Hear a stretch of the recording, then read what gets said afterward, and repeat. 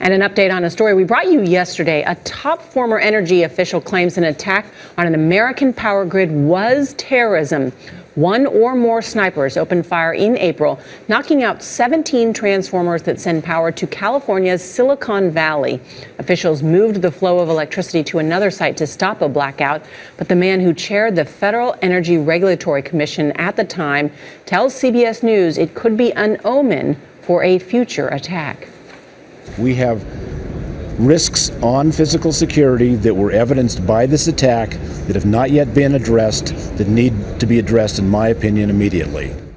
It is important to note that the FBI does not believe it was an act of terror. Snipers using AK 47s attacking a California power station in the dead of night. An attack some are calling a terror test run that went virtually unnoticed until now. In a front page Wall Street Journal investigation, a retired federal regulator describes the assault at a PG&E transmission substation last year as, quote, the most significant incident of domestic terrorism involving the grid that has ever occurred. The substation near San Jose funnels power to Silicon Valley, home to some of the largest technology companies in the world. A Wall Street Journal timeline shows the assault on April 16th last year started just before 1 a.m. when the attackers cut telephone wires near the plant. At 1:31 in the morning, snipers opened fire, apparently targeting transformers' cooling systems. 10 minutes later, a power plant operator called 911. At 1:45, the transformers started crashing. By 1:50, the attack was over and the gunman vanished. A minute later, police arrived, but they couldn't enter the locked gate, so they ended up leaving.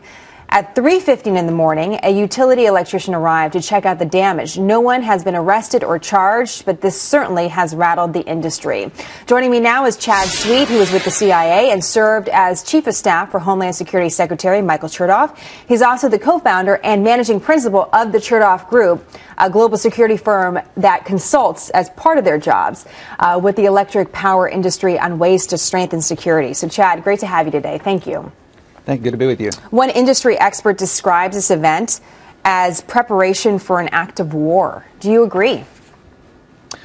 Well, I think you, you can't rule it out. However, um, if we think of terrorism, obviously, normally a terrorist would want to claim uh, responsibility for the attack. It's been almost a year since the attack, and no one has claimed responsibility. But that's why uh, they're saying it's a test run, potentially, right? That they were just trying to test the system to see what they could accomplish.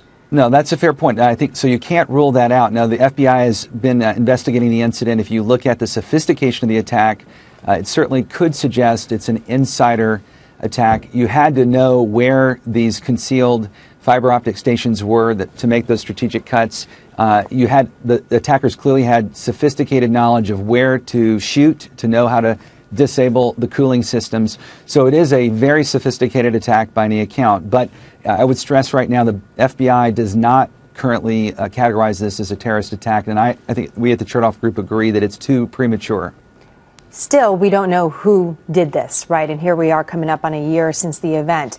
Interesting to note, one of the reasons why there wasn't a whole a lot of press around this is there was no blackout. PG&E was able to work around these transformers going down. In your experience, how prepared is the industry, company specific or otherwise, to deal with an attack like this if it happens again?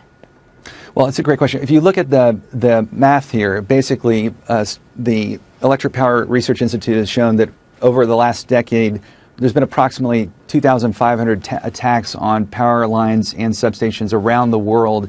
Uh, if you think about that, that's about 250 attacks a year.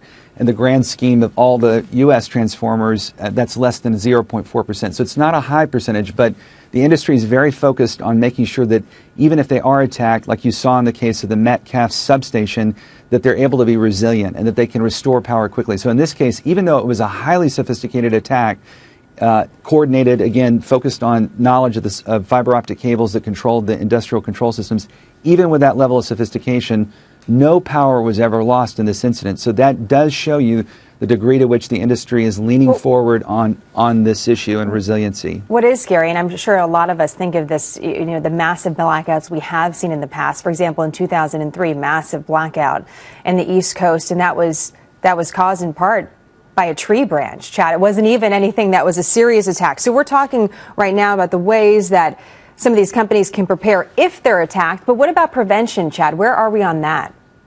That's a great question, and I think we've all experienced uh, different times where in different parts of the country, whether it's hurricanes, tornadoes. Uh, and I lived in New York when the brownout happened that you just described. It was it was quite disturbing. It was you have these moments where a single tree can hit a substation, and if that's a critical choke point, there can be cascading effects. So, what uh, both industry and the government have been working on are modeling out essentially those types of cascading scenarios where they can identify those choke points. And industry and government have to re- harden those particular uh, choke points. So that's a, a critical part of this. Another part of it is risk based resiliency. So if we look at the supply of transformers, for example, the industry's leaned forward with a program called the Supplemental Transformer Equipment Program, or STEP, and that's where they're working to create shared inventory across the country so that different utilities, if they're in an emergency, they know what type of transformer is available elsewhere and they can get it to this emergency site well, in a timely manner. It's, it's comforting to know that, that there are people aware and there are systems in place. But certainly it was unnerving to read about this and the sophistication of this group, whoever they were, and what they were trying to do. Chad, hope to have you back on the program to talk more about this and other topics as well. Thank you so much. Thank you. Good to be with you.